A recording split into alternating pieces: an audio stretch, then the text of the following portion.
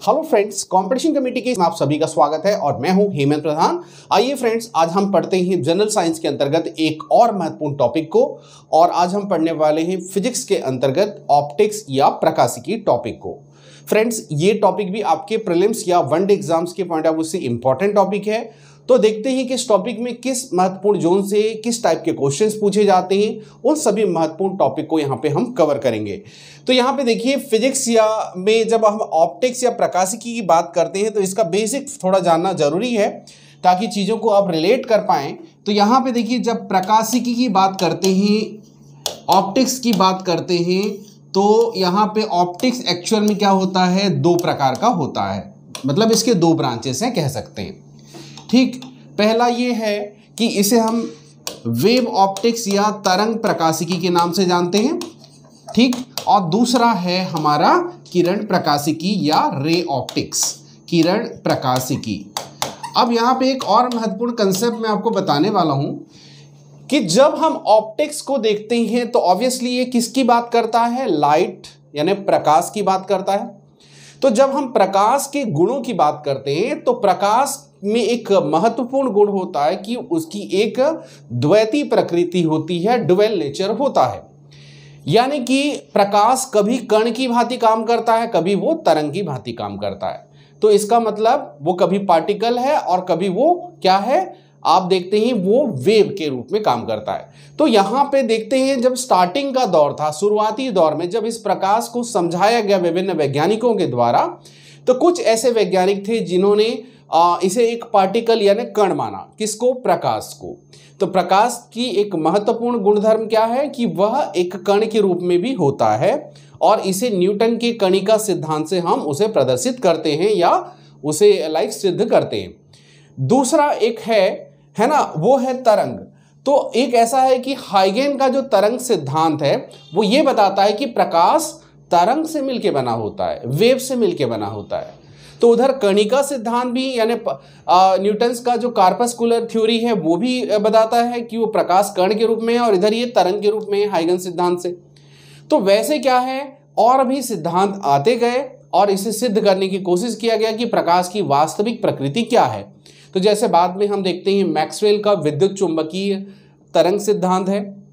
उसके अलावा आप देखते हैं, प्लांक और अल्बर्ट आइंस्टीन ने एक थ्योरी दिया था आ, उसे हम कहते हैं फोटान सिद्धांत ठीक है फोटान थ्योरी। तो वहाँ पे हम देखते हैं कि इसके कोई कण की कण को वो क्या कर रहा है सिद्ध कर रहे हैं तरंग को सिद्ध कर रहे हैं। तो अल्टीमेटली एक निष्कर्ष निकला कि इसमें द्वैती प्रकृति ड्वेल वो कण भी की भांति भी काम करता है और वो ठीक। तो इस बात को ध्यान रखिएगा आप। अब दूसरा इसमें एक चीज़ ये है कि क्या ऐसा कोई सिद्धांत या नियम है जो दोनों प्रकृति को एक साथ प्रूव कर सके? नहीं। अभी तक जैसे हम किताबों में जो उल्लेख पाते हैं तो ऐसा कोई सिद्धांत नहीं है जो प्रकाश के दोनों चीज़ों को प्रूव करके बताए कि वो कण की भांति और अब लाइक तरंग की भांति दोनों को एक साथ सिद्ध करके बताए। ठीक? तो हम देखते हैं अलग अलग थ्योरी से इसे क्या है? प्रूफ करते हैं, क्योंकि साइंस जो है अल्टीमेटली बिना प्रूवन चीज़ें होती नहीं। ठीक है? ये बातें क्लियर हो गई? तो अब हम इस इस प्रकाशिकी का जो इंट्रोडक्टिव पार्ट है तो अगर हम इसे देखें तो सबसे ज़्यादा क्वेश्चंस कहाँ से पूछे जाते? हैं इसी रे ऑप्टिक्स से क्वेश्चंस पूछे जाते हैं। इस किरण प्रकाशिकी से क्वेश्चंस पूछे जाते हैं। लेकिन हमको एक बात को ध्यान रखना होगा, यदि हम इसकी बात करते हैं रे ऑप्टिक्स की या किरण प्रकाशिकी की। तो यहाँ पे कुछ ऐसे जोन्स होते हैं जहाँ से क्वेश्चंस बार बार रिपीट किए जाते हैं। तो इसे तो देखेंगे ही, लेकिन जब हम आप क्वेश्चन पेपर को देखते हैं तो कुछ ऐसे क्वेश्चंस हैं जो इसी वेव ऑप्टिक्स से क्वेश्चन पूछे जाते हैं और बार बार ये भी रिपीट होते हैं। तो पहले थोड़ा सा इंट्रोडक्टिव पार्ट इस तरंग प्रकाशिकी को देखते हैं, फिर हम इस किरण प्रकाशिकी का इंपॉर्टेंट सेगमेंट देखेंगे। समझ गए? तो यहाँ पे देखिए, यदि हम इसे समझना चाहें, किसको? आप, इसकी बात करते हैं तरंग प्रकाशिकी को। तो तरंग प्रकाशिकी में एक बात ध्यान रखिएगा कि ये क्या है? तरंग की बात, यानी वेव की बात करता है। तो वेव को यदि हम देखते हैं तो ये दो प्रकार का हो सकता है। एक होता है यांत्रिक तरंग एक क्या होता है? यांत्रिक या मैकेनिकल वेव, और दूसरा है अयांत्रिक। अयांत्रिक या non mechanical wave non mechanical wave को और क्या नाम से जानते हैं? इसे जानते हैं इलेक्ट्रोमैग्नेटिव वेव विद्युत चुंबकीय तरंग के रूप में भी इसे जानते किसे? अयांत्रिक या नॉन मैकेनिकल वेव्स को।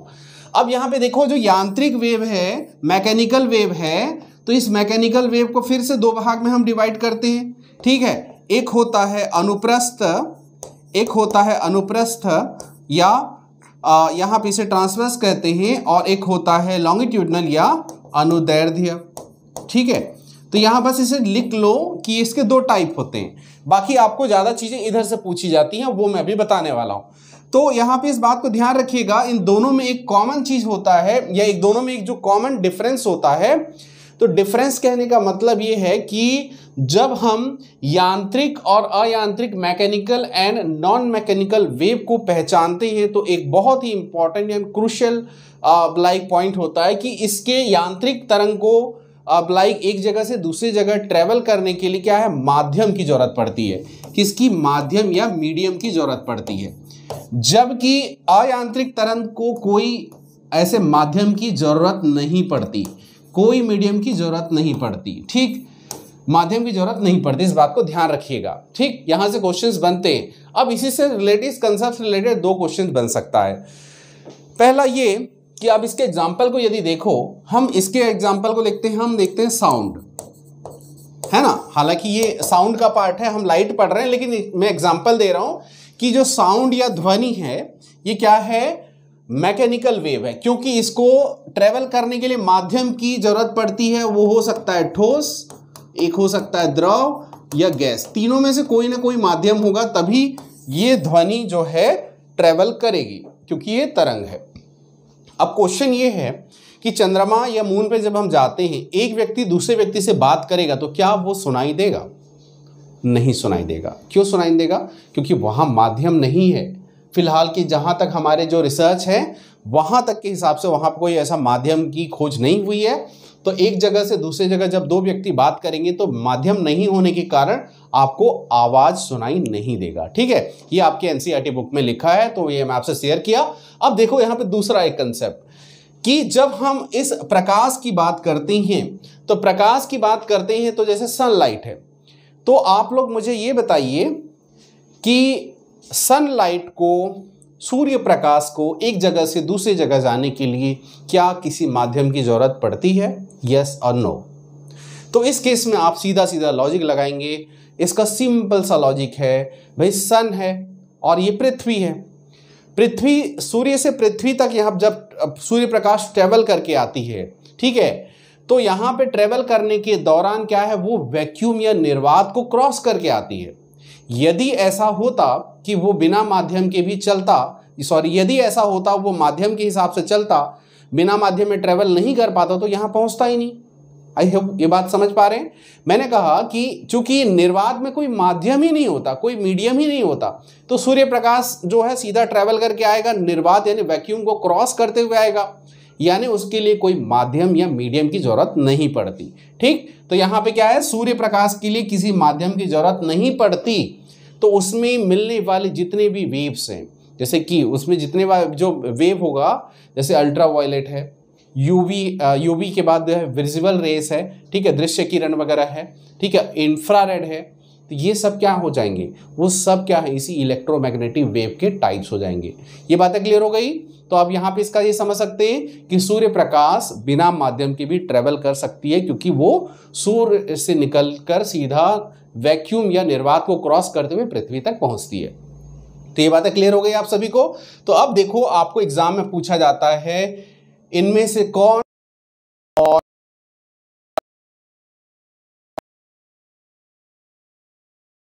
कौन नहीं है। सीधा सीधा स्ट्रेट फॉरवर्ड क्वेश्चन पूछा जाता है। अभी इस लिस्ट को मैं आप नोट कर लीजिए। इससे बाहर क्वेश्चन नहीं आएगा क्योंकि यहाँ से मैं वो लिस्ट को कवर करा दूँगा ताकि आपका एग्ज़ाम में आसानी से क्वेश्चन सॉल्व हो सके। तो यहाँ पे सीधा सीधा लिखेंगे क्या? इलेक्ट्रोमैग्नेटिव वेव ऐसे कौन से तरंग हैं जो इलेक्ट्रोमैग्नेटिव वेव हैं? विद्युत चुंबकीय तरंग हैं। तो यहाँ पे पहले लिखेंगे जैसे, है ना? आपने नाम सुना होगा एक्स किरण। अभी क्या है एक्स किरण की बात करते हैं। है ना, उसके बाद सनलाइट में जो होती है, तीन प्रकार की जो रेस उसमें पाई जाती है, उसे हम देखेंगे वेव्स मिलेगा। अब देखो एक्स किरण है, वैसे ही आप देखते हैं गामा किरण। गामा किरण के बारे में आप जानते होंगे, ठीक? और इसके अलावा अब जब हम अल्ट्रा वायलेट या परा बैंगनी की बात करते हैं परा बैंगनी परा बैंगनी किरण या यूवी रेस कहते हैं अल्ट्रा वायलेट रेस इसकी बात करते हैं, ठीक? वैसे ही दृश्य प्रकाश या विजिबल रेस दृश्य प्रकाश या विजिबल रेस या विजिबल वेव भी कह सकते हैं हम। ठीक, इसके बाद आप देखते हैं और कौन सा बचा? अवरक्त या इंफ्रारेड अवरक्त या इंफ्रारेड ठीक है वेव है। ये भी देखते हैं, ये भी क्या इलेक्ट्रोमैग्नेटिक वेव में आता है। वैसे ही आप देखते हैं जो है रेडियो वेव्स है ना? तो रेडियो वेव रेडियो वेव या रेडियो तरंग, कौन सा वाला? शॉर्ट वाला। ठीक है? लघु रेडियो तरंग। और एक रेडियो वेव होता है दीर्घ, यानी कि बड़ा। Radio wave. Radio wave. तो यहाँ पे क्या देखते हैं? ये हो जाएगा लॉन्ग। ठीक है? Long radio wave. तो these are the example of electromagnetic wave ये सभी क्या है? इलेक्ट्रोमैग्नेटिक वेव के एग्ज़ाम्पल है। अब यहाँ पे ध्यान रखिएगा, केवल ये ही इंपॉर्टेंट नहीं होता। ये तो आपको पूछेगा सीधा स्ट्रेट फॉरवर्ड कि इसमें से कौन सा इलेक्ट्रोमैग्नेटिक वेव है। आप क्वेश्चन पेपर उठा के देखो तो इसी से रिलेटेड आपको क्वेश्चन पूछा है कि इसके खोजकर्ता कौन है? डिस्कवर किन्होंने किया था? तो उसे भी लिख लें, क्योंकि ये भी आपके लिए इंपॉर्टेंट है। तो यहाँ पे जब इसकी बात करते हैं तो सबसे पहले देखो एक्स किरण की खोज किन्होंने किया था? रोन्टजन ने किया था है ना? तो रोन्टजन ने क्या किया था? एक्स किरण की खोज किया था। तो इसे लिख लीजिए क्योंकि ये फ़र्स्ट ऐसे साइंटिस्ट हैं जिनको 1901 में नोबेल पुरस्कार मिला था आ, फिजिक्स के क्षेत्र में किसके लिए? एक्स किरण की खोज के लिए ठीक है? तो यहाँ पे जब 1901 में नोबेल पुरस्कार की शुरुआत हुई तो सबसे पहले इन्हीं को मिला था। ठीक है? तो ये बात याद रखिएगा। उसके बाद देखिए दूसरा बताइए दूसरे का आंसर क्या है? ए, गामा किरण की खोज कि, कितने लोगों को पता है रेडियो एक्टिविटी रेडियो एक्टिविटी की खोज किन्होंने किया था? हेनरी बैकरल ने किया था। तो हेनरी बैकरल ने क्या है जो जब रेडियो एक्टिविटी खोज की थी तो उन्होंने क्या देखा था? एक रेडियो एक्टिव एलिमेंट से क्या है? इस प्रकार जो है रेस निकलती हैं और उसे उन्होंने गामा रेस कहा था। तो ये क्या है? गामा रेस का खोज किन्होंने किया था? हेनरी बैकरल हेनरी बैकरल या बैक्यूरल भी लिखा जाता है कई बार, है ना, स्पेलिंग के हिसाब से। तो ये याद रखिएगा, ये भी आपके लिए इंपॉर्टेंट है। उसके बाद देखो ultra violet rays ultra violet rays की खोज किन्होंने किया था परा बैंगनी का, ये भी आपके लिए इंपॉर्टेंट है। तो यहाँ पे देखिएगा, तीन चीज़ें जो है, ये तीनों से रिलेटेड आपको क्वेश्चन पूछा जाता है कि दृश्य प्रकाश, अवरक्त प्रकाश और पराबैंगनी किरणों में किन्होंने इसकी खोज की थी। तो इसका सीधा सीधा आंसर लिखेंगे रीटर।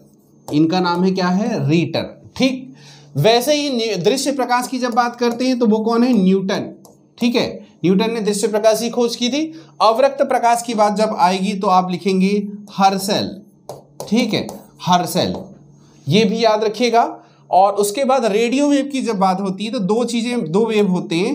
छोटी छोटे जो वेव रेडियो वेव होते हैं, इसकी खोज की थी हेनरिक हर्ज ने। तो आप चुपचाप हर्ज भी लिख सकते हैं इस प्रकार। और जब दीर्घ रेडियो वेव की बात करते हैं तो यहाँ पे आता है मार्कोनी का। ठीक है? तो ये आपके एग्ज़ाम में पूछा जा सकता है। बहुत ही इंपॉर्टेंट लिस्ट है। सबसे पहले इसके वेव के टाइप पूछता है कौ, कौन सा वेव है कौन सा नहीं। दूसरा इसको डिस्कवर किन्होंने किया था यह भी पूछता है। याद रखिएगा। ठीक है मैं यहाँ पे तरंग प्रकाशिकी में केवल और केवल इतना बता रहा हूँ क्योंकि ये चीज़ें आपके लिए प्रिलिम्स के हिसाब से इंपॉर्टेंट है। अदरवाइज़ ये बहुत बड़ा टॉपिक भी है। ठीक अब सीधा सीधा हम चलते हैं कहाँ पे? रे ऑप्टिक्स या किरण प्रकाशिकी की ओर। जब तो जब रे ऑप्टिक्स या किरण प्रकाशिकी की बात करेंगे तो किन बातों को आपको ध्यान देना होगा? तो यहाँ पे देखो, किरण प्रकाशिकी किरण प्रकाशिकी या रे ऑप्टिक्स तो यहाँ पे देखिए, सबसे पहले किसकी बात हो रही है? कि यहाँ पे किरण की बात हो रही है एक रे की बात हो रही है। तो जब सनलाइट देखते हैं, उस सनलाइट में कुछ महत्वपूर्ण गुणधर्म होता है। जैसे कि आप देखते हैं अपवर्तन, परावर्तन, व्यतिकरण, विवर्तन, ध्रुवण, ठीक है, इस टाइप के बहुत सारे इंसिडेंट होते हैं, बहुत सारी घटनाएँ होती है। आपके प्रिलिम्स के हिसाब से तीन चार चीज़ें इंपॉर्टेंट है, अपवर्तन, परावर्तन वर्ण विक्षेपण, पूर्ण आंतरिक परावर्तन, ठीक है, इन चार चीज़ों को आप फ़िलहाल पढ़िए, क्योंकि यहीं से ज़्यादातर क्वेश्चंस पूछे जाते हैं, ठीक? तो आइए स्टार्ट करते हैं इस टॉपिक में इन चीज़ों को। तो यहाँ पे देखिए, सबसे पहले हमको ये समझना होगा, परावर्तन क्या है? तो परावर्तन क्या है? इसे देखिए।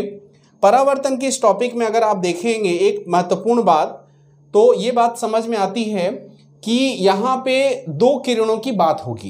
पहला पहला किरण जो सीधा आके सीधा किसी सरफेस या पृष्ठ पे टकराता है, उसे हम क्या कहते हैं? उसे हम कहते हैं आपतित किरण या इंसिडेंट रे आपतित किरण या इंसिडेंट रे ठीक?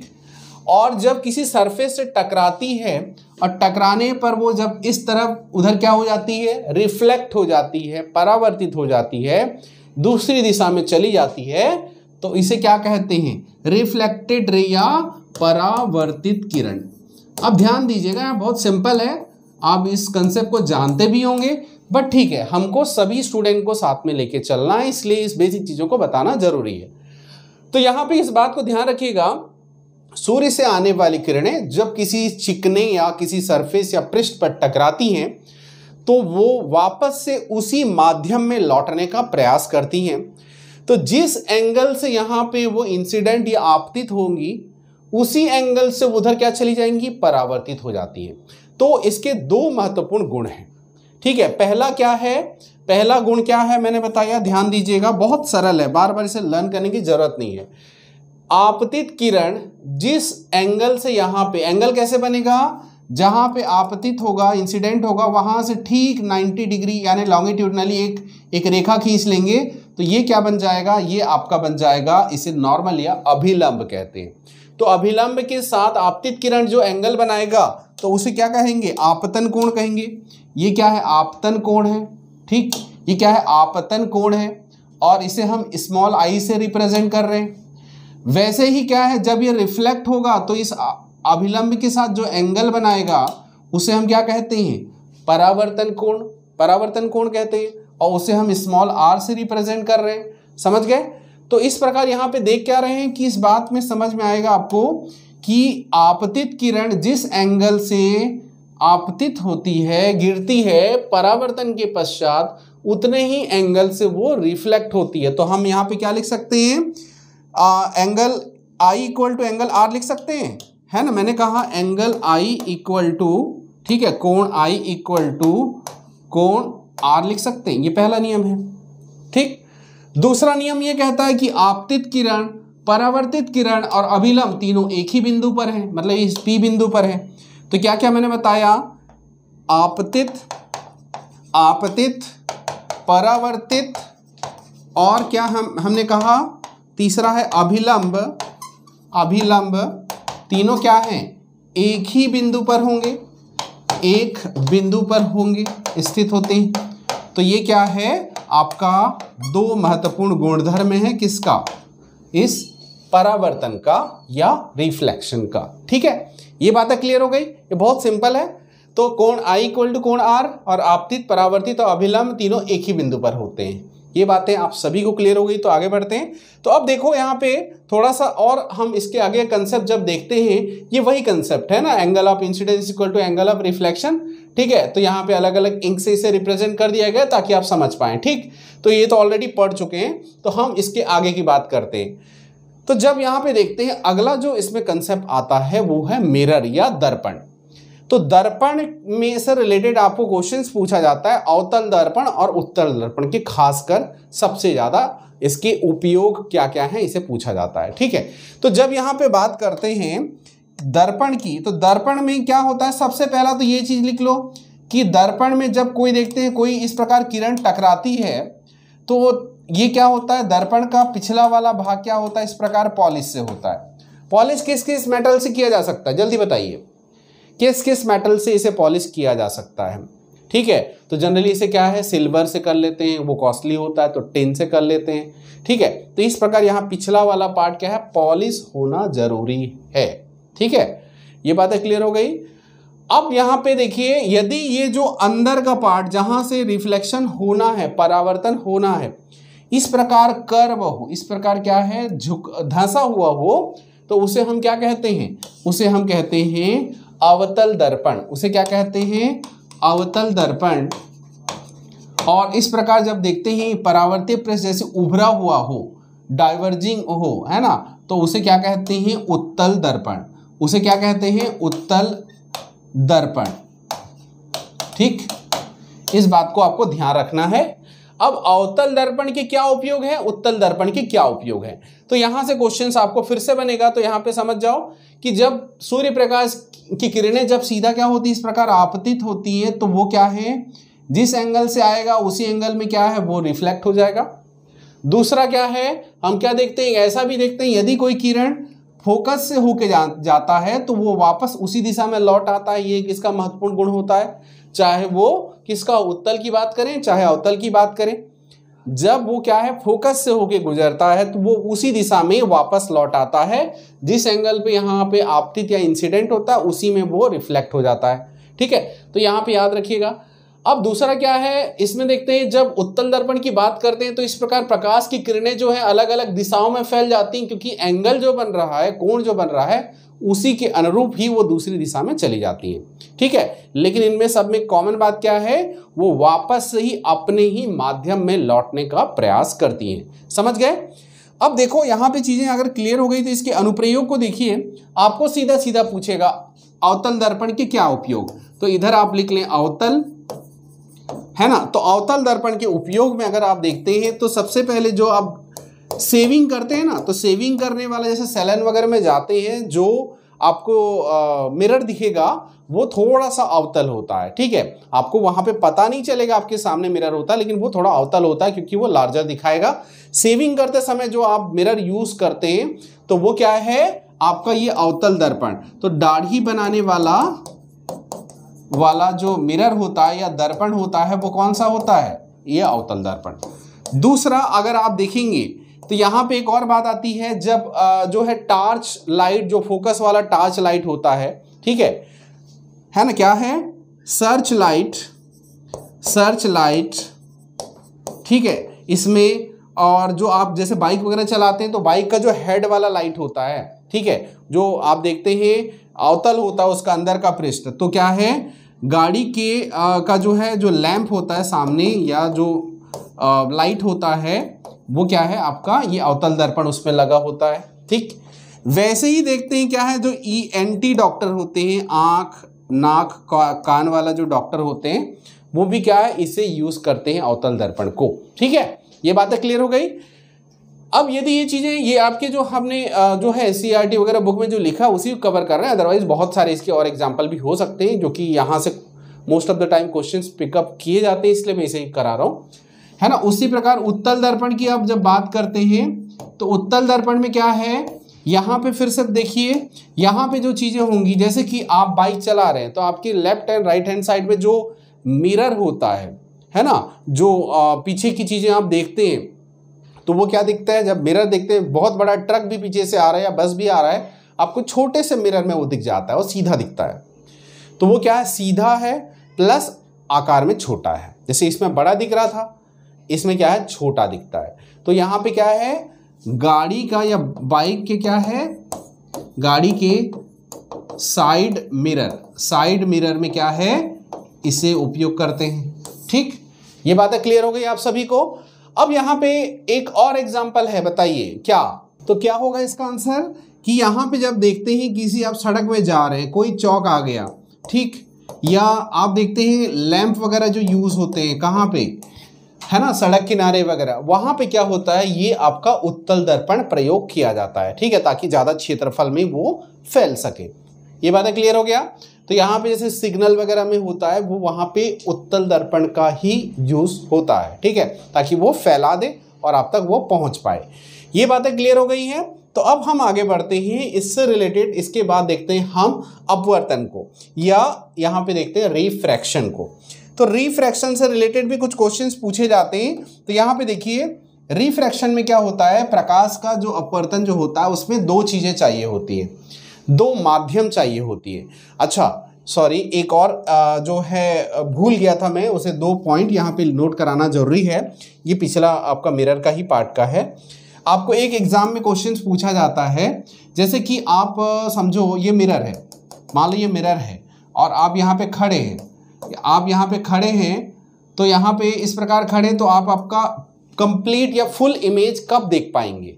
तो इसमें दर्पण की हाइट से रिलेटेड क्वेश्चंस पूछा जाता है। हालाँकि स्पेसिफिक एग्ज़ाम में इसमें और अच्छा पूछा जाता है। उसके फॉर्मूला वगैरह भी हैं, जिसमें कि कितना इमेज बनेगा, कितना डिस्टेंस होगा समथिंग लेकिन यहाँ पे एक चीज़ ये जानना ज़रूरी है कि समतल दर्पण के सामने आप खड़े हैं। आपका फुल या कंप्लीट इमेज प्राप्त करने के लिए दर्पण की ऊंचाई कितनी होनी चाहिए? तो दर्पण की ऊंचाई जो है, याद रखिएगा, आपकी ऊंचाई का आधा होना चाहिए। ठीक है? मान लो आप जैसे छः फीट के हैं तो छः फीट की हैं तो आपकी दर्पण की आ, सामने दर्पण की हाइट कम से कम तीन फीट होनी चाहिए।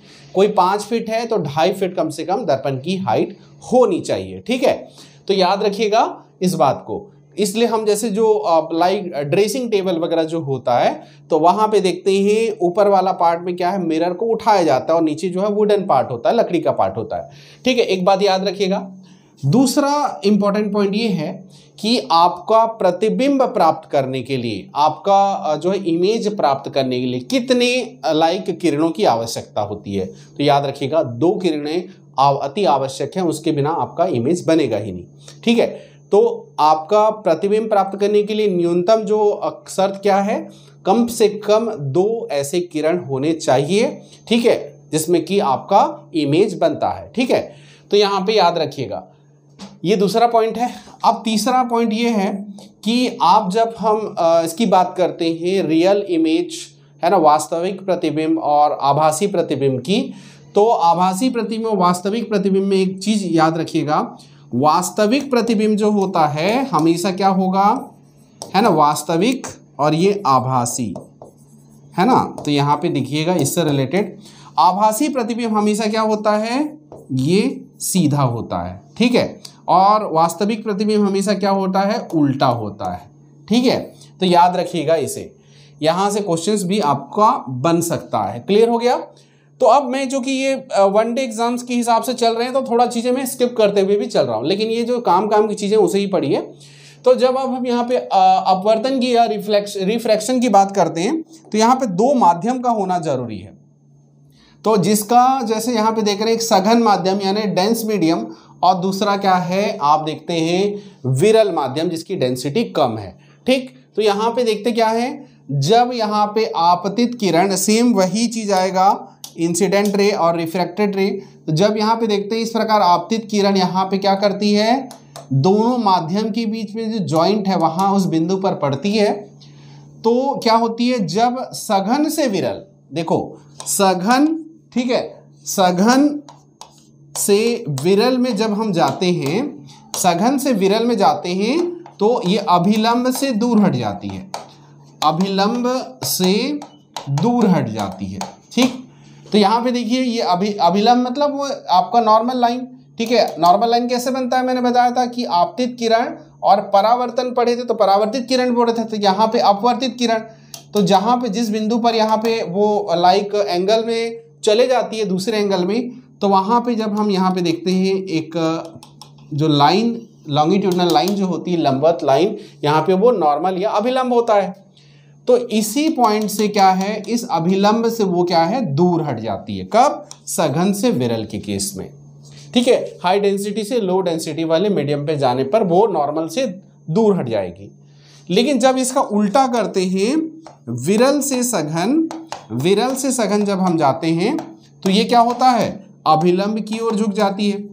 अभिलंब की ओर क्या हो जाती है? झुक जाती है। ठीक? इस बात को आप ध्यान रखिएगा ठीक? ये बहुत सारा साधारण चीज़ें हैं, लेकिन आपको इस बात को ध्यान रखना है। तो ये बातें क्लियर हो गई। अब यहाँ पे देखो, एक महत्वपूर्ण नियम लगता है, उसे हम कहते हैं स्नेल का नियम। क्या कहते हैं? स्नेल का नियम। स्नेल का नियम ये कहता है है ना स्नेल का नियम याद रखिएगा, वो ये कहता है, इसे हम कहते हैं sine i upon sine r. ठीक है? कि आपतन कोण की ज्या और पर अपवर्तन कोण की ज्या जो होते हैं, उसका वैल्यू जो होता है, उसे हम क्या कहेंगे यहाँ पे? ये स्नेल का नियम में। तो इसे कहेंगे कि पहले माध्यम के सापेक्ष दूसरे माध्यम का अपवर्तना। ठीक है? तो साइन आई है ना? मतलब आई यहाँ पे म्यू से इसे रिप्रेजेंट करते हो इस प्रकार आर कहते हैं। तो पहले माध्यम के सापेक्ष दूसरे माध्यम का क्या कहते हैं? रिफ्रैक्टिव इंडेक्स या अपवर्तनांक कहते हैं। ठीक? तो यहाँ पे इसे ध्यान रखिएगा। तो अपवर्तन भी दो महत्वपूर्ण नियम के आधार पर चलता है। जैसे हमने परावर्तन में देखा था। तो एक नियम ये याद रख लीजिए कि जब प्रकाश की किरणें एक माध्यम से दूसरे माध्यम में जाती हैं तो sine i upon sine r equal to, यानी कि आपतन कोण की जिया और अपवर्तन कोण की जिया का अनुपात क्या होता है? पहले माध्यम के सापेक्ष दूसरे माध्यम का अपवर्तनांक होता है। ठीक है? वन या आई म्यू आर ठीक है? ये बात क्लियर हो गया? तो ये आपका पहला नियम हो गया। अब दूसरा नियम ये कहता है कि वो जो पहले वाले में हमने पढ़ा था, आपतित किरण अपवर्तित किरण और अभिलंब तीनों एक ही बिंदु पर होते हैं। ये आपका क्या है? सेकेंड लॉ हो गया। सेकेंड रूल हो गया। तो ये बातें क्लियर हो गई। अब यहाँ पे ध्यान दीजिए दो तीन महत्वपूर्ण बातें जो यहाँ से क्वेश्चंस आते हैं। तो पहला इंपॉर्टेंट पॉइंट ये है कि याद रखिएगा, कभी भी दो माध्यम का अपवर्तनांक ज़ीरो नहीं हो सकता। पहला पॉइंट मैंने कहा, दो माध्यम का अपवर्तनांक कभी भी ज़ीरो नहीं हो सकता। उसमें कुछ ना कुछ डिफरेंस होगा ही, उसकी कोई ना कोई वैल्यू होगी। ठीक है? ये पहला पॉइंट है। अब यहाँ पे दूसरा पॉइंट याद रखिएगा कि जब हम अपवर्तनांक या रिफ्रैक्टिव इंडेक्स की बात करते हैं तो यहाँ से क्वेश्चंस बनेगा आपका, अपवर्तनांक is inversely proportional to wavelength या तरंग दैर्ध्य। क्या है?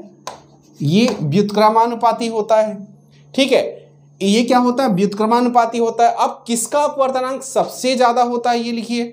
है ना? यहाँ पे ध्यान क्या देना है? मैंने दो पॉइंट बताया। यहाँ से क्वेश्चंस आते हैं कि कभी भी दो माध्यम का अपवर्तनांक रिफ्रैक्टिव इंडेक्स ज़ीरो नहीं होता। ठीक है? उसमें कुछ ना कुछ डिफरेंस या उसकी कोई ना कोई वैल्यू होगी ही। इसके बाद हम जब बात करते हैं अपवर्तनांक की तो अपवर्तनांक में याद रखिएगा रिफ्रैक्टिव इंडेक्स में लाल रंग का रिफ्रैक्टिव इंडेक्स सबसे कम होता है। क्या? अपवर्तनांक की बात कर रहे हैं। ध्यान दीजिएगा, तरंग दैर्ध्य की बात नहीं कर रहे हैं। तो जब अपवर्तनांक का क्या है? लाल रंग का अपवर्तनांक या रिफ्रैक्टिव इंडेक्स कम होगा तो इसका तरंग दैर्ध्य कम होगा या ज़्यादा होगा? सबसे ज़्यादा होगा। तो इसका तरंग दैर्ध्य क्या हो जाएगा? तरंग दैर्ध्य या वेवलेंथ क्या हो जाएगा? सबसे ज़्यादा। ठीक है? तो तरंग दैर्ध्य ज़्यादा और क्या कम? आपका अपवर्तनांक कम समझ गए? ये बातें क्लियर हो गई आप सभी को? अब वैसे ही यहाँ पे इसको भी देख लीजिए। जब यहाँ पे बात करते क्या है? बैंगनी रंग। तो बैंगनी रंग में जब हम बात करते हैं तो बैंगनी रंग का अपवर्तनांक ज़्यादा होगा या कम होगा? सबसे ज़्यादा होगा। होगा? तो इसका क्या है? तरंग दैर्ध्य क्या हो जाएगा? सबसे कम हो जाएगा। तरंग दैर्ध्य क्या है? सबसे कम हो जाएगा। तो ये आपका इंपॉर्टेंट क्वेश्चन यहाँ से बनता है। ये बातें सभी को क्लियर हो पा रही है क्या? तो अब यहाँ पे देखिए, अगर इतना दूर क्लियर हो गया तो इससे रिलेटेड एक दो फैक्ट आपको जानना और ज़रूरी है।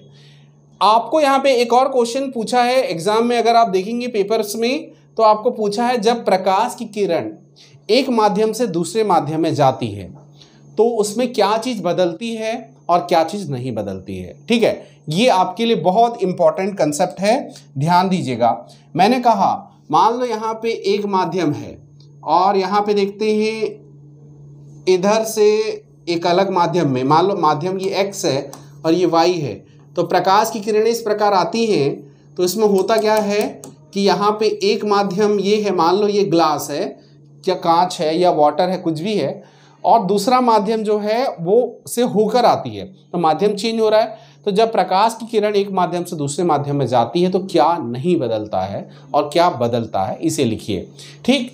तो सीधा सीधा लिखिए प्रकाश की किरणें एक माध्यम से दूसरे माध्यम पर जाने पर क्या है? इसका क्या नहीं बदलता है? तो पहला लिखेंगे आप यहाँ पे आवृत्ति और रंग क्या हो, होना चाहिए? ये क्या हो जाता है? नहीं बदलता या बदलता है? नहीं बदलता। नहीं बदलता। ठीक है? तो यहाँ पे याद रखिएगा इसकी फ्रीक्वेंसी और कलर इसका नहीं बदलता। अब क्या बदलेगा इसे लिखिए? तो यहाँ पे देखिए सीधा सीधा पहला तो इसकी वेलोसिटी बदल जाएगी, चाल बदल जाएगी। चाल क्या है? बदलेगा। उसके बाद क्या है? तीव्रता या इंटेंसिटी की बात करते हैं तो ये भी क्या है? बदलेगा। और लास्ट में इसका अपवर्तनांक की बात करते हैं, अपवर्तनांक की बात करते हैं तो ये भी क्या है? बदलेगा। तो इस प्रकार इस प्रकार यहाँ पे सॉरी अपवर्तनांक नहीं है, तरंग दैर्ध्य, है ना? तरंग दैर्ध्य हाँ आप इससे रिलेटेड भी तरंग दैर्ध्य को भी रिलेट कर सकते हैं, क्योंकि इन्वर्सली प्रोपोर्शनल टू होता है। लेकिन आप याद रखेंगे तरंग दैर्ध्य भी तो बदलेगा तो अपवर्तनांक तो ऑब्वियसली बदलेगा, क्योंकि वो इन्वर्सली प्रोपोर्शनल टू होता है। ठीक है? तो यहाँ पे क्या क्या क्या बदले, नहीं बदलेगा? आवृत्ति और रंग नहीं बदलेगा। चाल, तीव्रता तरंग दैर्ध्य अपवर्तनांक, ये सब क्या है? बदल सकते हैं। ठीक है? यहाँ पे इस बात को ध्यान रखिएगा। तो ये क्वेश्चंस आपसे पूछे जाएँगे अब यहाँ पे जब हम बात करते हैं अपवर्तन अपवर्तन की या रिफ्रैक्शन की तो एक और महत्वपूर्ण गुण होता है, उसे कहते हैं टोटल एंगल रिफ्लेक्शन ठीक है? पूर्ण आंतरिक परावर्तन कहते हैं। तो यहाँ पे क्या है? प्रकाश का पूर्ण आंतरिक परावर्तन को इस प्रकार देखिए। तो यहाँ पे दो बातें आएँगी। एक होता है क्रिटिकल एंगल या क्रांतिक कोण। तो क्रांतिक कोण क्या है? सघन माध्यम में बना वह आपतन कोण होता है, जिसके लिए विरल माध्यम में अपवर्तन कोण का मान 90 डिग्री होता है। क्या क्या सघन माध्यम में बना हुआ अपवर्तन कोण होता है, जिसके लिए विरल माध्यम में बना क्या है? अपवर्तन कोण 90 डिग्री का होगा। ठीक? तो ये बातें याद समझ गए? अब क्या है? आपतन कोण का मान, आपतन कोण का मान यदि क्रांतिक कोण से थोड़ा अधिक कर दे। क्रांतिक कोण का मतलब अपवर्तन कोण का मान 90 डिग्री होना चाहिए तो उससे थोड़ा अधिक कर दें। तो 90 से ज़्यादा कर ले तो प्रकाश क्या होता है? विरल माध्यम में बिल्कुल नहीं जाता। देखो, ध्यान दीजिए, हमारे पास दो चीज़ें हैं, सघन से विरल की ओर जा रही है तो उस केस में क्या है, हमने ये देखा है कि विरल माध्यम में अपवर्तन कोण का मान 90 डिग्री होना चाहिए, यदि 90 डिग्री से ज़्यादा हो गया तो उस केस में प्रकाश विरल माध्यम में नहीं जाती, यहाँ पे नहीं जाती, वो वापस से ही उसी सघन माध्यम में लौट के आ जाती है, उस घटना को हम क्या कहते हैं, पूर्ण आंतरिक परावर्तन कहते हैं टोटल एंगल रिफ्लेक्शन कहते हैं, ठीक है? तो इस बात को ध्यान रखिएगा। तो इसमें दो तीन बातें ध्यान रखना ज़रूरी है कि प्रकाश का अपवर्तन बिल्कुल नहीं होता, पूरा जो आपतित प्रकाश परावर्तित हो जाता है, इसलिए हम अपवर्तन के टॉपिक में पूर्ण आंतरिक परावर्तन को पढ़ रहे हैं। अदरवाइज़ वहाँ अपवर्तन पढ़ना चाहिए। ठीक है, लेकिन क्या है, अपवर्तन की घटना ही नहीं होती। वापस से वो अपने ही माध्यम में लौट आता है, सघन माध्यम में। इसलिए इसे हम क्या कहते हैं टोटल एंगल रिफ्लेक्शन कहते हैं, पूर्ण आंतरिक परावर्तन कहते हैं। और दूसरा, किसी पृष्ठ के जिस भाग से पूर्ण आंतरिक परावर्तन होता है, वह चमकने लगता है। तो ग्लास टूट जाता है, क्यों चमकता है? हीरा क्यों चमकता है? क्यों जितनी ज़्यादा वहाँ पे लाइक वो वाइब्रेंट दिखता है? तो इसका कारण क्या है? यही पूर्ण आंतरिक परावर्तन है। और इससे रिलेटेड क्वेश्चन जो पूछे जाते हैं, उसे भी नोट कर लीजिए यहाँ पे। तो यहाँ पे देखो, वही चीज़ें जो अभी हमने पढ़ा, उसे यहाँ पे इमेज के फॉर्म में देख लीजिए। आपको बहुत आसान लगेगा ये। ठीक है तो हमने यहाँ पे देखा कि जैसे ये दो माध्यम है, इधर वाला माध्यम मान लो देखते हैं क्या है, यहाँ पे देख रहे हैं इधर वाला विरल माध्यम है, इधर वाला सघन माध्यम है है ना? जैसे ये रेड वाला लाइन देख रहे हैं रेस देख रहे हैं, जैसे ही यहाँ पे जाती है तो जैसे कि हमारा क्रांतिक कोण की वैल्यू क्या है 90 डिग्री है तो यहाँ पे 90 डिग्री है, ये वाले लाइन के साथ। लेकिन जैसे 90 डिग्री से ज़्यादा होना चाहिए, क्रांतिक कोण या क्रिटिकल एंगल से ज़्यादा होना चाहिए तो इसलिए हमने इसे थोड़ा सा और ऊपर ले लिया। तो ये इस दिशा में जाना चाहिए अगर। जैसे कि ये वाली किरण गई है और इस तरफ़ उधर जा सकती है, लेकिन चूँकि 90 डिग्री यानी क्रांतिक कोण से ज़्यादा है इसका वैल्यू तो इसलिए देखते हैं आपतित किरण यहाँ जाने पर क्या है, क्रांतिक कोण से ज़्यादा होने के कारण अपवर्तन ना होकर परावर्तन हो जा रहा है। ठीक है? तो ये क्या हो जाएगी? परावर्तित परावर्तित हो जाएगी ये। ठीक? समझ गए? तो इसे क्या कहते हैं? इस घटना को पूर्ण आंतरिक परावर्तन कहते हैं। तो इसमें मैंने बताया था कि चीज़ें चमकने लगती हैं। ये जो सरफेस है, वो चमक चमकने लगेगा। तो इस प्रकार इससे रिलेटेड एग्ज़ाम्पल आपको एग्ज़ाम में पूछा जाएगा। तो यहाँ पे पहला है क्या है? हीरे का चमकना। क्यों चमकता है? पूर्ण आंतरिक परावर्तन के कारण। रेगिस्तान में मृग मरीचिका जो बनती है, वो किसके कारण होता है? इसी पूर्ण आंतरिक परावर्तन के कारण होता है। जल में पड़ी परख नली क्यों चमकती है? कांच में आई दरार क्यों चमकती है? क्योंकि वो जो सरफेस है, वहाँ पे इस प्रकार पूर्ण आंतरिक परावर्तन की घटना होती है। अब यहाँ पे पूर्ण आंतरिक परावर्तन होने के लिए क्या न्यूनतम शर्त है? ये पूछा जाएगा। तो याद रखना, प्रकाश की किरण हमेशा किधर से किधर जाएगी? आप देखते हैं, यहाँ प्रकाश सघन से विरल में ही जाएगी, ठीक? और आपतन कोण का मान क्रांतिक कोण से बड़ा हो, जैसे आपतन कोण का मान, यहाँ पे देख रहे हैं क्रांतिक कोण से बड़ा है, इधर से भी कर सकते हैं आप। ठीक है, अगर लेकिन सघन से विरल की ओर होना चाहिए। तो ये जो दो महत्वपूर्ण शर्त है, कई बार ये भी पूछ देता है। ठीक है क्रांतिक कोण से छोटा हो, बड़ा हो, आप कंफ्यूज हो जाते हैं। तो याद रखना, उस 90 डिग्री से वो ज़्यादा होगा तो वो क्या है क्रांतिक कोण से बड़ा होगा। ये बातें सभी क्लियर हो गई? अब यहाँ पे देखिए, ये चीज़ें क्लियर हो गई तो इससे इसके बाद जो देखते हैं, एक और इंपॉर्टेंट कंसेप्ट आता है। वो कंसेप्ट है आपका, क्या है लेंस का। और लेंस के बाद यहाँ पे देखेंगे है ना? लेंस का आपने जैसे अवतल लेंस उत्तल लेंस वगैरह पढ़े होंगे, ठीक है? तो यहाँ पे उसे देखेंगे, लेकिन थोड़ा सा एक और चीज़ छूट गया है, उसे देख लेते हैं, वो है आपका क्या? ऑप्टिकल फाइबर ऑप्टिकल फाइबर या प्रकाशिक तंतु। ये इमेज देख रहे हैं आप? इमेज में देखने पर क्या है? आप जैसे इंटरनेट यूज़ करते हैं तो ऑप्टिकल फाइबर वर्ड यूज़ किया जाता है। ऑप्टिकल फाइबर लगाने पर आपको हाई स्पीड नेट मिलती है। आपका जो है नेट जो कहीं पे भी लॉस नहीं होता, क्योंकि जो एनर्जी या जो फ्रीक्वेंसी उधर से मिल रही है, वो हंड्रेड परसेंट आपकी उतनी ही स्पीड या फ्रीक्वेंसी के साथ यहाँ पे आपको आउटपुट प्राप्त होता है। तो यहाँ पे देखिए, इस इस इमेज में देखिए कि यहाँ पे कोई किरण जा रही है इस प्रकार। यहाँ पे जाती है, यहाँ पे इस प्रकार जाती है। ये सीधा होता है, फिर यहाँ आती है, फिर यहाँ आती है, फिर यहाँ आती है, फिर यहाँ। तो यहाँ पे इस दौरान क्या है? जो मान लो इसकी वैल्यू हंड्रेड थी तो पूरा का पूरा हंड्रेड का वैल्यू यहाँ पे मिलता है, क्योंकि ये चीज़ें जो है वहाँ पे चली जाती हैं, पूरे उसी फ्रिक्वेंसी के साथ उतना ही आपको आउटपुट प्राप्त तो होगा, ठीक है? तो प्रकाशिक तंतु या ऑप्टिकल फाइबर का यूसेज क्या है? तो जैसे कि हाई स्पीड नेट तो आपने मैंने पहले ही बता दिया, क्योंकि एनर्जी लॉस जो है उसमें ज़ीरो होता है। अब क्या है, जैसे प्रकाश सिग्नल को दूर संचार वाले में जो टेलीकम्युनिकेशन में है, ये उसमें ही करते हैं। विद्युत सिग्नल को प्रकाश सिग्नल में बदल कर प्रेषित करने में, अभिग्रहण करने में, मनुष्य के शरीर में जो इंटरनल पार्ट होता है, उसे देखने के लिए, ठीक है? और शरीर के अंदर लेज़र किरणों को भेजने में, जैसे कि जो लेज़र वाले ऑपरेशंस होते हैं या जैसे आपके माउथ या टंग में क्या है, इसे रख दिया जाए अंदर का पार्ट देखने में, ठीक है? बॉडी के अंदर का पार्ट देखने में ये सब चीज़ें क्या है, इसी ऑप्टिकल फाइबर के द्वारा यूज़ या उपयोग किया जाता है, इसे हम प्रकाशिक तंतु हिंदी में कहते हैं, ठीक है? ये बातें समझ गए? अब इसके बाद हम देखेंगे लेंस को। तो लेंस में जब बातें आती हैं तो दो प्रकार का लेंस होता है। आप सभी पढ़ते होंगे और यहाँ से भी फेवरेट क्वेश्चन बनता है उत्तर लेंस अवतल लेंस का, ठीक है? तो यहाँ पे देखिए, अवतल लेंस और उत्तर लेंस को थोड़ा सा कंसेप्चुअल तरीके से यहाँ से रिलेटेड क्वेश्चन भी आपको मोस्ट ऑफ़ द टाइम देखने को मिलेगा। ठीक है? तो उसे समझते हैं। तो अब हम देखते हैं इस लेंस को। तो लेंस में देखो लेंस में दो बातें आपको आपको याद रखना ज़रूरी है। इसमें क्या है? दोनों भाग क्या होता है? पारदर्शी या ट्रांसपेरेंट होता है।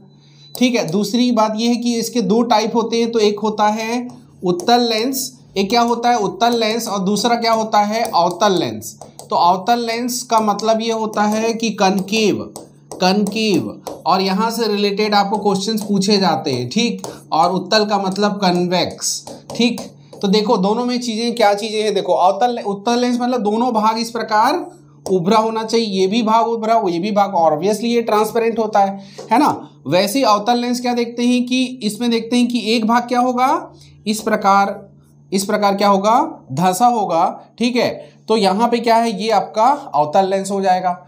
तो यहाँ पे इससे रिलेटेड क्वेश्चंस पूछे जाते हैं आपको दृष्टि दोष की। आँख के दोष में कौन सा लेंस यूज़ किया जाता है? मायोपिया या निकट दृष्टि दोष में कौन सा यूज़ किया जाता है? और हाइपरमेट्रोपिया यानी दूर दृष्टि दोष में किस प्रकार का लेंस यूज़ किया जाता है? देखो, बहुत सिंपल सा ट्रिक बता रहा हूँ। दूर दृष्टि, चार प्रकार के दोष यहाँ पे हम पढ़ेंगे। तो वहाँ पे वो चारों दोष को यहाँ पे एक साथ कर लेते हैं तो आपके लिए और आसान हो जाएगा। देखो, चार प्रकार के दोष में किस प्रकार के लेंस यूज़ किए जाते हैं? वन, टू, थ्री और ये फोर। तो पहला है निकट निकट दृष्टि दोष ठीक? और दूसरा है दूर दृष्टि दोष ठीक?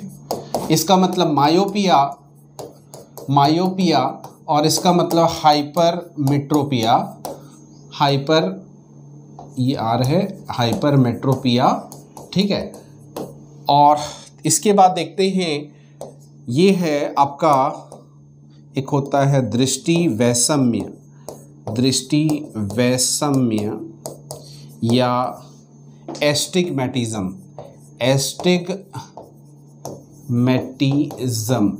ठीक है? और ये है आपका, ये हम देखते हैं इसमें जो तीसरा है, प्रेस बायोपिया या जरा दृष्टि दोष। क्या है? जरा दृष्टि दोष, ठीक है, प्रेस बायोपिया। ये बहुत सरल है, देखो। आपको याद रखना है, निकट दृष्टि दोष में क्या है? निकट की चीज़ें दिखाई देती हैं, दूर की दिखाई नहीं देती। बस जस्ट उल्टा लगता है ना निकट दृष्टि दोष मतलब पास की चीज़ें दिखाई नहीं देनी चाहिए जबकि ये उल्टा होता है पूरा। निकट दृष्टि दोष में पास की चीज़ें दिखाई देंगी दूर की दिखाई नहीं देगी। तो दूर की दिखाई क्यों नहीं देगी? तो यहाँ पे सॉरी निकट दृष्टि दोष में क्या है? तो दूर की दिख, वस्तु दिखाई क्यों नहीं देगी? क्योंकि वस्तु का जो प्रतिबिंब है वो रेटिना से पहले बन जाता है। इसलिए वो दूर की चीज़ें दिखाई नहीं देती। तो निकट दृष्टि दोष में पास की चीज़ें दिखाई देंगी, दूर की चीज़ें दिखाई नहीं देंगी। क्यों दिखाई नहीं देंगी? क्योंकि वस्तु का प्रतिबिंब रेटिना के पहले बन जाता है। तो इस प्रकार यहाँ पे निकट वर्ड आ रहा है। है ना? अभी मैं लेंस बताऊँगा, पहले सुन लीजिए इसे। इसमें उसके बाद, उसका मैं लेंस बताऊँगा। दूर दृष्टि दोष में क्या है? ठीक उल्टा वैसे ही कि दूर की चीज़ें दिखाई देंगी और पास की पास की चीज़ें दिखाई नहीं देंगी। ठीक है? तो दूर दृष्टि दोष में मैंने कहा कि दूर की चीज़ें दिखाई देंगी, पास की चीज़ें दिखाई नहीं देंगी। तो उस केस में हम यहाँ पे क्या, कैसे समझेंगे? रेटिना पहले बनेगा या बाद में? रेटिना का जो, रेटिना में जो प्रतिबिंब बनता है वो रेटिना के पीछे बनता है। है ना? ऊपर वाले में रेटिना के सामने पहले बन जाता था, ये इसके पीछे बनता है। इसलिए क्या है? दूर दृष्टि दोष में दूर की चीज़ें दिखाई देती हैं, लेकिन पास की चीज़ें दिखाई नहीं देती। ठीक? ये बात क्लियर हो गई? ये हाइपरमेट्रोपिया है। अब जरा दृष्टि दोष में ऐसा होता है, ना पास की दिखाई देती है, न दूर की दिखाई देती है। ठीक है? तो ये जरा दृष्टि दोष या ब्रेसवाइपिया हो गया। वैसे दृष्टि वैषम्य में क्या स्टिग्मेटिज्म में ये क्या होता है? इस प्रकार की लॉन्गिट्यूडनल या हॉरिजॉन्टल लाइन में ये इस प्रकार के रोगी या व्यक्ति जो है पहचान नहीं कर पाते। कि क्षैतिज लाइन और ऊर्ध्वाधर लाइन में वो पहचान नहीं कर पाते तो ये यहाँ पे क्या होता है? दृष्टि वैषम्य होता है। अब देखो, सबके लेंस याद करना किस प्रकार ट्रिक से। कि जब हम बात करते हैं निकट, अब अल्फ़ाबेट तो जानते ही हैं, आ आ आ से लेके आप जब जाते हैं ऋषि के री तक एक होता है, उस बीच में उल्लू के हु या उनके हु आता है। तो जब यहाँ पे देखोगे, उसी प्रकार इंग्लिश में अगर आप देखेंगे, कनकेव और कन्वेक्स दो चीज़ें आती हैं। है ना? हम क्या है? कनकेव में कनकेव में वी ई आ रहा है और कन्वेक्स में क्या हो रहा है? एक्स आ रहा है कि नहीं? ठीक?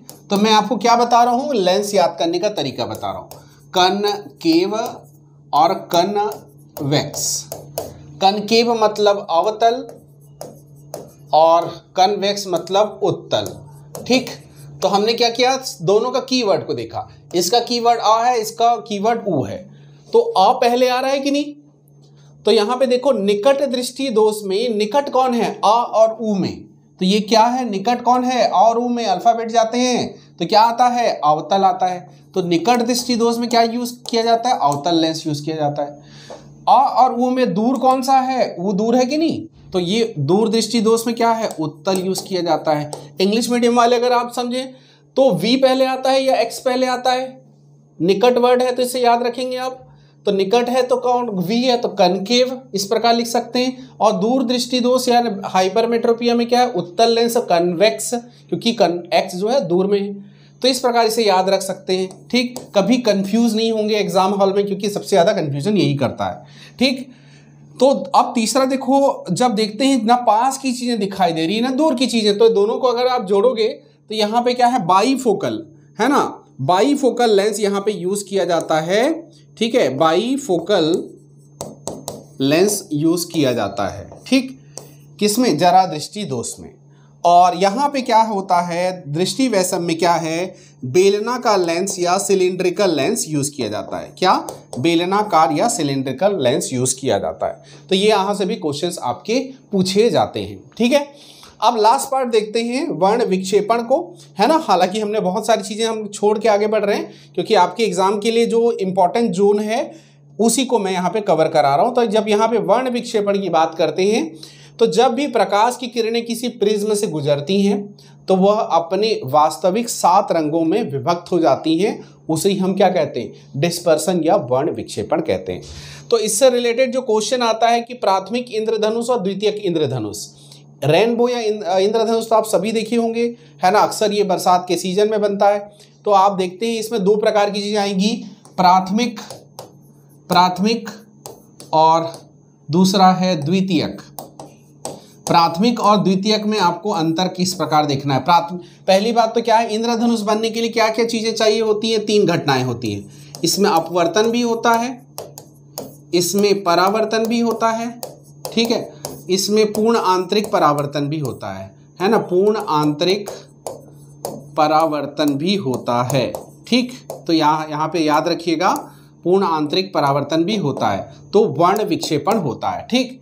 तो प्राथमिक इंद्रधनुष में क्या होता है? दो अपवर्तन दो अपवर्तन, और एक जो है, क्या है? परावर्तन होता है। एक जो है, परावर्तन होता है। जबकि द्वितीय केंद्र धनुष में क्या है? टू प्लस टू, दो अपवर्तन, दो परावर्तन होता है, याद रखिएगा, ठीक? अब यहाँ पे प्राथमिक और द्वितीय को कैसे पहचानेंगे? आप यहाँ पे देखो, लाल ऊपर की ओर है, हालाँकि यहाँ पे देख रहे हैं, ये प्रिज्म का एग्जांपल है, लेकिन फिर भी मैं बता रहा हूँ कि लाल यदि ऊपर हो, लाल या रेड यदि ऊपर हो तो यहाँ पे क्या होता है? ये क्या है? प्राथमिक इंद्रधनुष है वो। तो नीचे कौन हो जाएगा? ये ऊपर है, इस प्रकार सर्कल में। तो ऊपर क्या है? आप देखते क्या है? ये लाल ऊपर है तो प्राथमिक है, और बैंगनी अगर ऊपर है, बैंगनी अगर ऊपर है तो ये क्या है? द्वितीयक होगा। बैंगनी ऊपर है तो द्वितीयक, और लाल ऊपर है तो प्राथमिक। ठीक? तो आप ये बताइए, यहाँ पे इस इमेज को देख के कि कौन सा इसमें प्राथमिक है, कौन सा द्वितीयक है।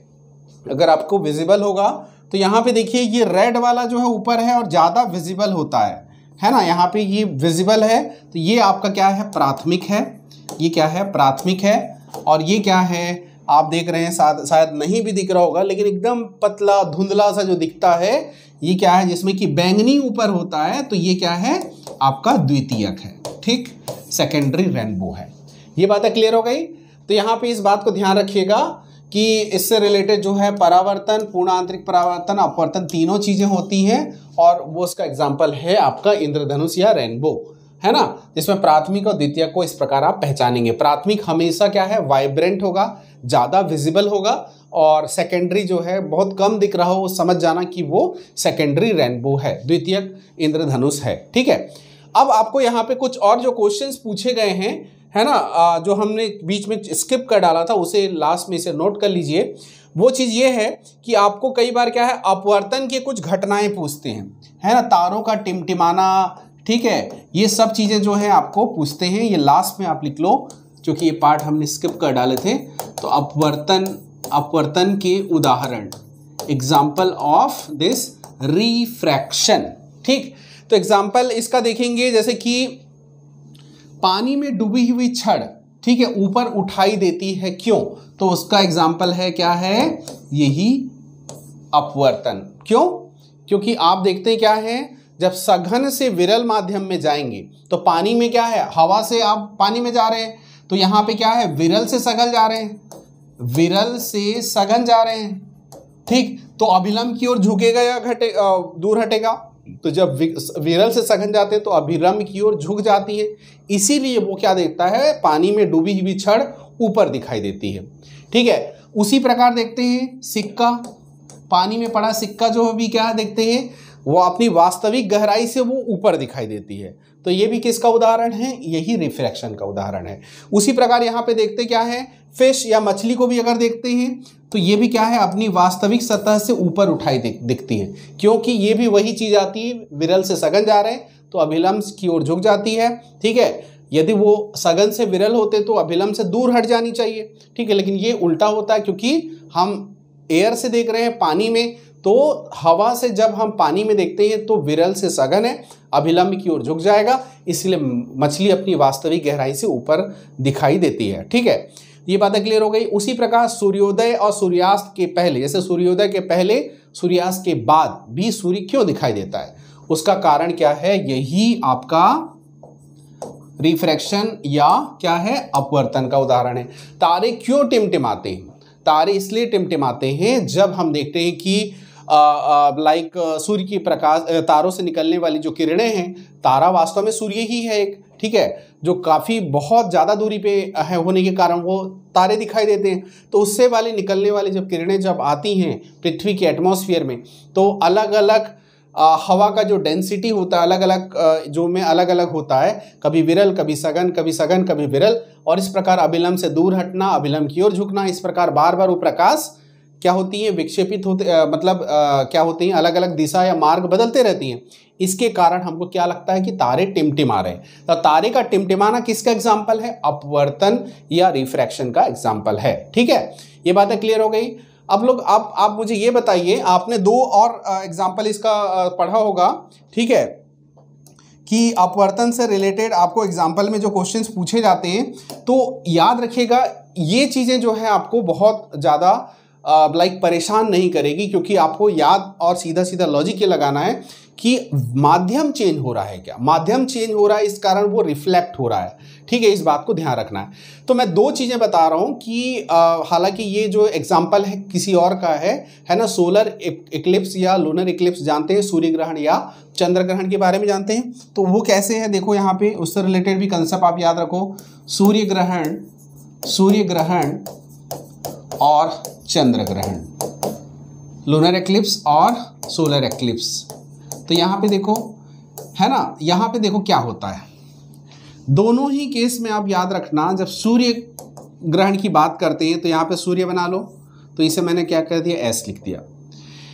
तो यहाँ पे आप क्या लिखो? यहाँ पे जैसे ये है एक, और ये है भी एक। अक्सर हमको कन्फ्यूज़न होता है कि दोनों के बीच में कौन सा होता है, सूर्य ग्रहण में। तो सूर्य ग्रहण में मेष याद रख लेना। ये मून है और ये अर्थ है। ठीक? और चंद्र ग्रहण में कैसे याद रखेंगे? आपको ये फिर से सूर्य बना लो और यहाँ पे फिर से एक ये बना लो और ये बना लो। तो इस केस में क्या है? एस ई एम से याद रख लेना। तो कैसे? अब देखो, सूर्य से प्रकाश की किरणें निकलेगी। अब ये दोनों के बीच में जब पृथ्वी आ जाता है तो पृथ्वी आ जाने पर ये भाग क्या है? ये भाग क्या है? इतना वाला भाग जो है वो दिखाई नहीं देता, क्योंकि ये ढक दिया है। तो सूर्य ग्रहण, हम यहाँ पे हैं।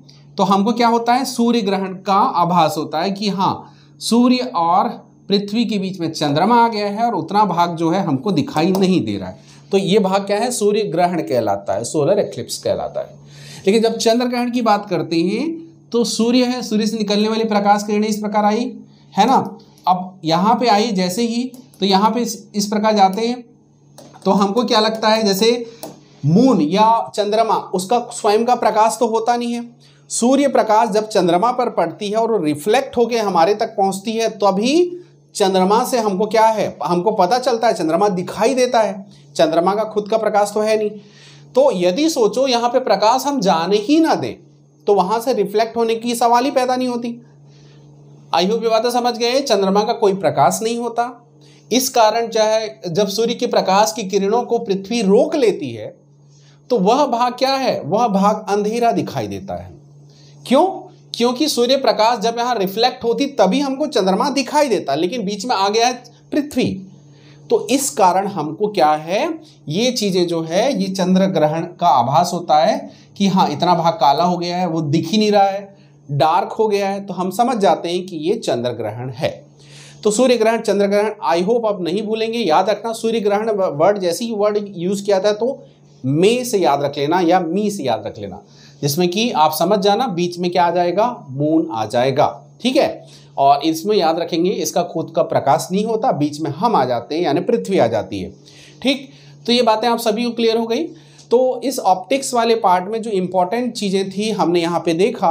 आ, जाते जाते दो फैक्टर मैं बताऊँगा क्योंकि सूर्य चंद्रमा चीज़ें आ रही हैं। आप बताइए सूर्य से पृथ्वी तक सूर्य प्रकाश की किरणों को आने में कितना सेकंड कितना समय लगता है? तो वो है आठ मिनट उन्नीस सेकंड कितना? आठ मिनट उन्नीस सेकेंड। तो अब यहाँ पे ये चीज़ भी मैंने बताया कि पृथ्वी चंद्रमा का कोई प्रकाश नहीं होता, फिर भी हमको दिखाई देता है। मतलब वहाँ से चीज़ें आ रही हमारे तक। तो चंद्रमा से आने वाली किरणों को पृथ्वी तक पहुँचने में कितना सेकंड लगता है? 1.28 सेकंड। 1.28 सेकंड। तो इस प्रकार यहाँ पे ये दो महत्वपूर्ण फैक्ट याद रखिएगा। तो ऑप्टिक्स की क्लास में हम इतना ही रखते हैं। हालाँकि मैंने आप सभी को आ, कुछ इंपॉर्टेंट जो है पार्ट ही यहाँ पे प्रोवाइड किया है। अगर इस टॉपिक को डिटेल में पढ़ना चाहते हैं तो भी पढ़ा जा सकता है लेकिन हमारा यहाँ पे टारगेट वही वही जोन को कवर करने का था जहाँ से वनडे एग्ज़ाम में क्वेश्चंस पूछे जाते हैं। ठीक है? तो आज के लिए इतना ही रखते हैं। मिलते हैं नेक्स्ट क्लास में कुछ नए कंसेप्ट के साथ। Thank you so much